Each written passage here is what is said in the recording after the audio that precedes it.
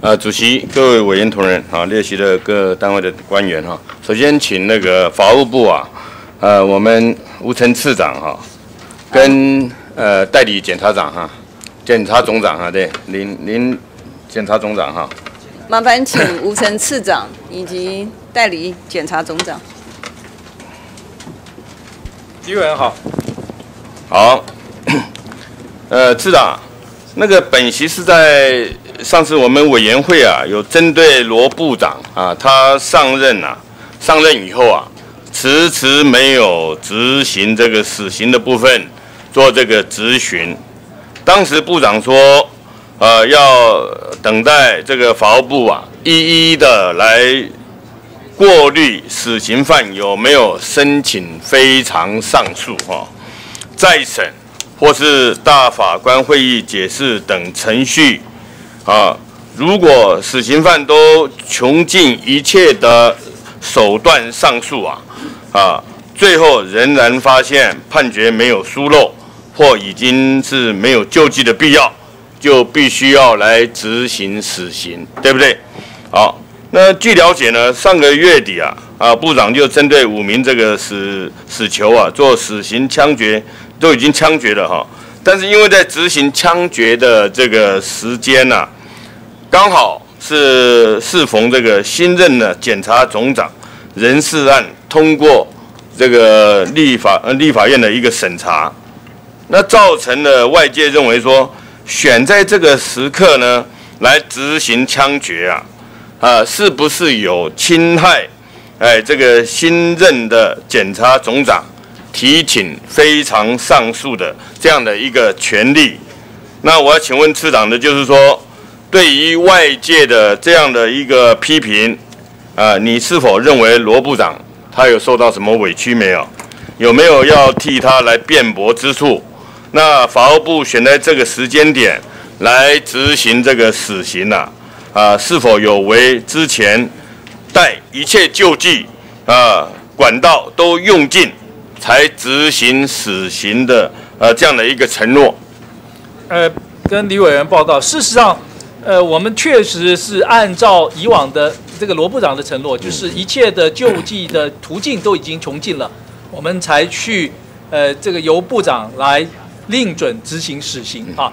那当然包括申请再审、申请呃提起非常上诉，或者是申请释宪，呃这些途径都已经穷尽，而且没有停止执行的事由了。譬如说他精神丧失中，或者是法胎中之之类的哈，都没有这些事由才去另准执行。那刚刚委员提到的说，哎，那新任的检察总长还没有上任，那你那你怎么可以呃这个执行呢？那事实上，我们政府的运作不能够说要等某一个人上任，我们政府才运作嘛。那事实上，他有代理检察总长，他事实上代理检察总长还是行使检察总长的职权。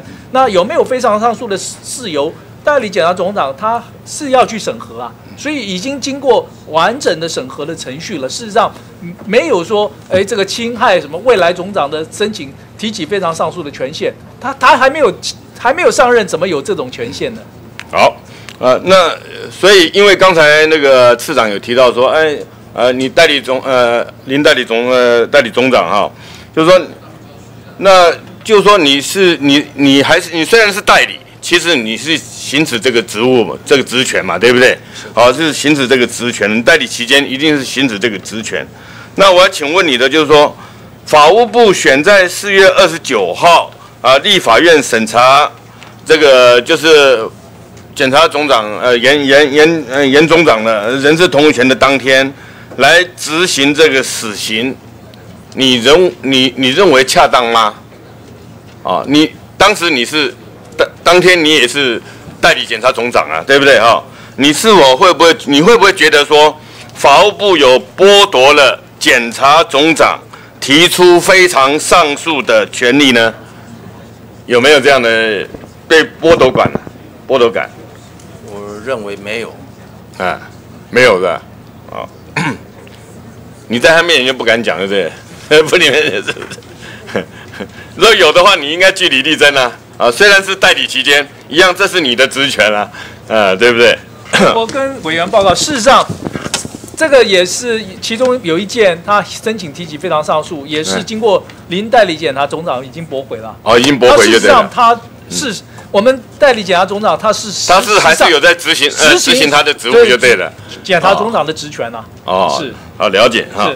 那因为检审会啊，另外就是说检审会啊，前天呐、啊，五月三号他就提出了呃十四名的这个建议了哈。那检察首长的人事名单呐、哈，建议名单。那不过呢，据传呐、其中有呃五个重要的职务都已经内定了啊、那我要请问次长的就是说，有没有这一回事啊？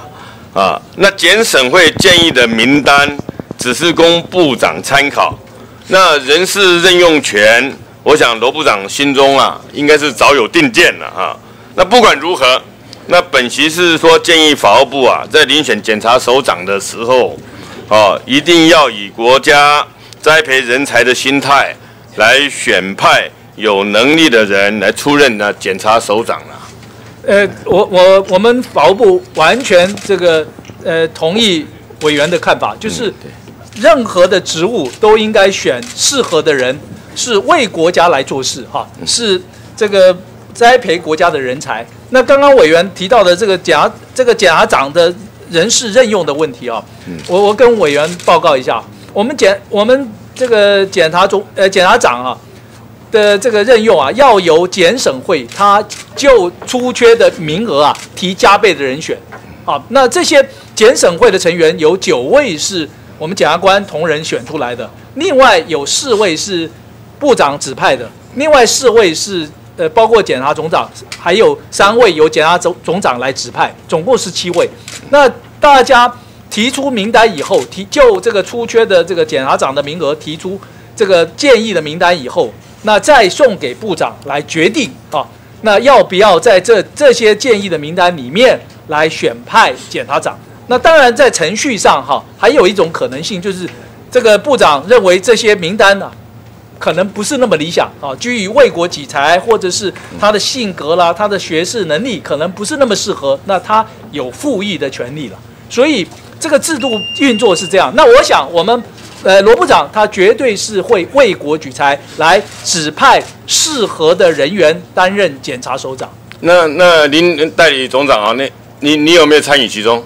呃，这个有参与这个检审会？有你们有你们也有推推人嘛？对，总长这边也有推人嘛？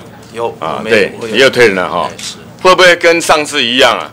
呃，这个你之前的呃总长啊，呃提呃推推举了八位，结果一位都部长都都不处理，又造成他两个人中间的一个心结啊。因为我想这次应该比较不会吧？啊，次长，次长，你本身这次有职务有没有异动啊？呃，有没有在其中啊？到目前为止我还在在这里，所以没我没有异动嘛。这样子，至至于这个到目前为止啊，哈哎，，对未来的未来，没有人可以知道这个本来本来啊，我我我算我是政务职嘛，政务职随时这个如果长官需要，他可能另这个另外他有他有权限来跟动这个职务。好，这个这个我是政务职就就是这样。好，谢谢。那请回是不是接着请那个呃主席啊，请那个林秘书长一下？林秘书长。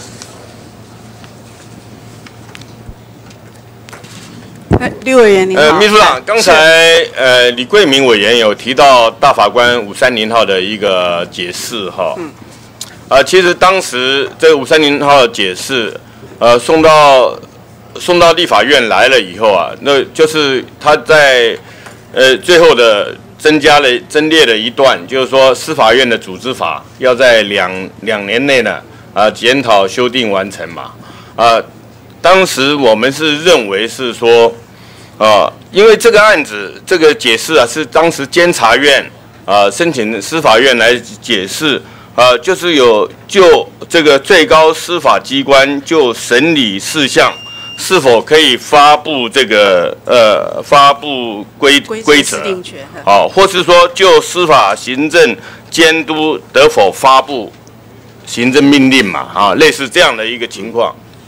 结果后来大法官五三零号的解释里面啊，再把最后增加了，就是两年内要把司法院的组织法修订完成。大家都知道，这个法院啊是不告不理啊，啊是不告不理。既然是这样，他告原来这个申请解释的标的，跟你最后的一个解释啊，显然是有这个诉外裁判的一个嫌疑啊，啊，所以也是因为他有诉外裁判的嫌疑呢，我们立法院呐，啊，我们就没有去修订啊，这这个最这个应该要怪我了哈，我认为有诉外裁判的嫌疑，所以一直延档到现在啊，那到底有没有违宪呢？我也不晓得。若是大法官的解释啊是从宪法的话，那当然是有违宪之余。啊，问题是说大法官在解释的过程当中，说程序正义啊，其实还蛮重要的。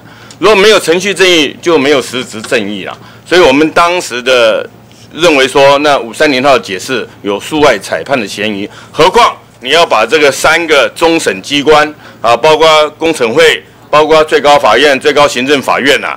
要让它走入历史，好，这个是不是恰当啊？变成这个单元单轨啊？呃，是还有很多的单位是有疑虑的啦，好，所以我们当时呢，并没有去修这个呃这个司法院的组织法。那当然有，也因为这个届期不连续的关系啊，确实是呃也到最近呃这个会期是没有送进来，但没有送进来，其实是到底是对是错，是好是坏？我是建议说，最后还是要做处理。那要处理的情况呢？啊，当然，我我想大法官会也不跟自自己打自己嘴巴，但是看有没有办法说，呃，看用什么方式啊，啊，再解释还是要怎么样啊？呃，来来做一个处理啦。那这样就不会留下一个尾巴在那边哈。啊，好像说立法院呢是做违宪之力，那立法权是我们立法呃这个宪法赋给我们的职权呐。哦，那我们也希望说，因为有这样的一个案例，我们让这个司法院将来在呃审查的过程当中啊，程序正义啊，还还是要去特别的注意啦。哦，那今天今天呢谈到我们主要是谈哈，那今天这个法庭这个录音录影的部分，等下呃稍后啊啊我再来在逐条审查的时候，我们来再做做一个说明哈。好，谢谢。好，谢谢。